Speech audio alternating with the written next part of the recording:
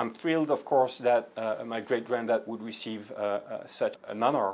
Uh, the US Congress will be awarding the Congressional Gold Medal to the Monuments Men. The Monuments Men were a group of over 300 men and women, so the name is a bit uh, uh, confusing, but men and women who, towards the end of the Second World War, um, were deployed or had a mission on the European theater to recover pieces of art that have been stolen, displaced, looted during the war, mostly by, by, by the Germans. And so my great granddad, Leo van Puyvelde, um, was one of those monuments men. He was uh, the chief curator, before the war, he was the chief curator of uh, the Belgian Fine Art Museum.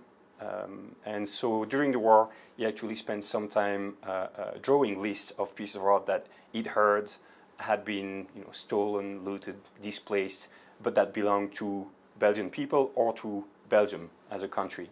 And so he drew those lists, and towards the end of the war, he was tasked uh, with the mission to recover some of those pieces of art, uh, uh, mostly, uh, uh, well, at the time it was thought that these pieces of art were held somewhere in Germany or in Austria. Um, so he was tasked by the prime minister to um, recover these pieces of art and travel around Austria and Germany to recover them um, that brought him uh, to uh, various salt mines because a lot of these pieces of art were actually stocked, or at least it was believed again at the time, but he wasn't sure that they were stocked in salt mines in various places across Germany.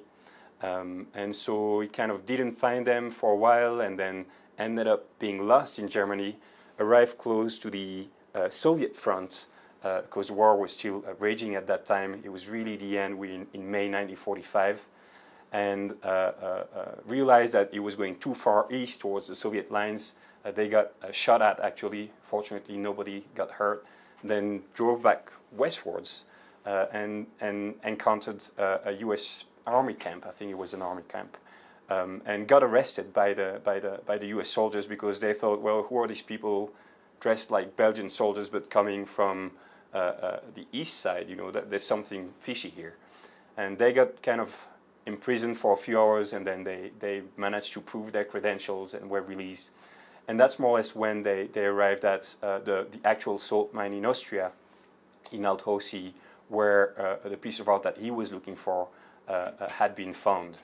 And so his mission from then on was to uh, uh, assess those pieces of art and see whether it would be possible to bring them straight away back to Belgium.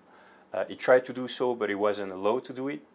Um, for security reasons, I imagine uh, the uh, American government wanted to be in charge of shipping it back or, or bring it back to Belgium. Uh, but it was on hand probably in Belgium six months after that. We're still in 1945 to receive the piece of art in Belgium. So that's kind of the story.